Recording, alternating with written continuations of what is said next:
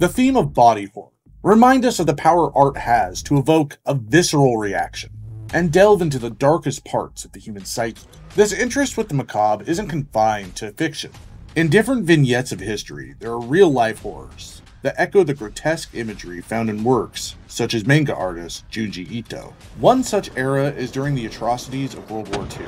The widely documented and horrific experiments of Joseph Mengele at the Auschwitz concentration camp were more disturbing than fiction. In the Pacific Theater, horrors were seen at the hands of the Japanese and the Allies alike. Across the burnt acres of Tokyo. And the retaliatory fire bombings of Tokyo, along with the war ending atomic bombing of Nagasaki and Hiroshima by the US, left a lasting legacy of devastation. Post World War II humanity took a good hard look at itself to figure out what the hell just happened. Tribunals in Nuremberg and Tokyo were tasked with holding individuals accountable. In Germany, many of the top scientists were absorbed by American CIA operations by the controversial Operation Paperclip. While in Japan, it was more chaotic, with various forces at play. The West considered the cruelty of Auschwitz and Birkenau to be the worst of the war. That was until researchers happened upon surviving documents and uncovered the true depth of Japanese atrocities, especially in northern occupied China. To understand the Japanese during this era, there are a few things essential to know about their history. For nearly two centuries, Japan was isolated, under a policy of sakoku of the Tokugawa shogunates. This policy was an effort to maintain domestic stability and prevent foreign influence. Emerging from it in the mid 1850s led to rapid modernization and westernization, quickly becoming a global power player by the early 1900s, able to defeat Imperial Russia. Socially, the Japanese maintained many of their traditions and a healthy level of xenophobia. Among the worst crimes Japan had committed were in the occupied Manchuria region by the unassuming Epidemic Prevention and Water Purification Department of the Kwantung Army, better known as Unit 731, a secret biological weapons and development unit whose main focus during the war was the use of prisoners in unimaginably inhumane medical experimentation. Men, women, and children were subjected to cruelty that words can't even do justice. Because of cultural issues, prisoners weren't thought of as human, even infants born in captivity weren't spared. Testing would often be done under the unit's director, a devout Japanese nationalist, Shiro Ishii, a man who'd risen through the ranks quickly as an inventive doctor and studious researcher, with a singular focus on executing his assignment, which in this case was creating new mechanisms of death. Dangerous pathogens would be tested by injecting prisoners, who were then monitored and be subjected to forced blood draws, and in advanced cases, live subject vivisections. Frostbite research would be done by restraining the subject and leaving them in the extreme cold. They tested spread rates by infecting an individual and then placing them in a crowded cell, leaving the prisoners to fend for themselves. Locked down until the virus had worked its course, one way or another. Japan wasn't alone in its development of biological weapons. Allied and Axis forces alike stockpiled biological agents.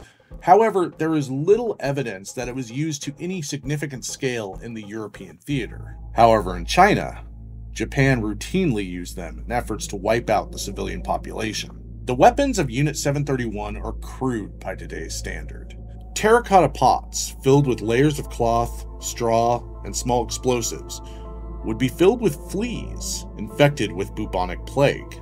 Attached to a mid altitude balloon or dropped by airships to spread and infect the wildlife and populations. The testing for these was inhumane, by any measure, using prisoners tied to stakes at differing distances to find the maximum lethal range of the explosives without killing the fleas.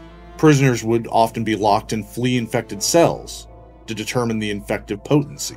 In one indescribably evil test, an infant who had been born to a prisoner, was placed in a pot of fleas to see how quickly they would perish. Ishii had also taken the research a step further than just creating weapons. He also experimented in treatment potential for Japanese soldiers. Like any army in World War II, STDs were a problem. So Ishii, in an effort to track treatments during various stages, would force infected prisoners to engage in sexual activity, or force female prisoners to be by infected officers. In researching battlefield amputation, prisoners would often have more and more removed from them to see how long they could survive and to what level of pain they could tolerate. Some would then have limbs reattached in the wrong places to see if they could regain function. They would be given wrong blood types. And in one exceptionally cruel experiment, they attempted to use turtle blood as a donation. When Japan surrendered after the bombings of Hiroshima and Nagasaki, the Kwantung Army, acting on orders from Tojo, set explosives in key areas of the facility, locked down, or shot the remaining prisoners. It was then set ablaze in an effort to cover up the unconscionable cruelty and utter disregard for human life. After the Allied occupation of Japan, Ishii, along with several other 731 members, were arrested by American forces.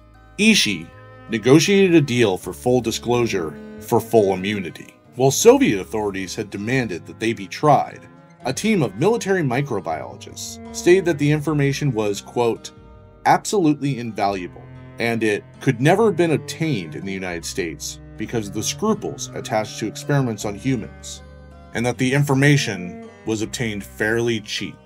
World War II is undoubtedly the darkest era in the industrialized age.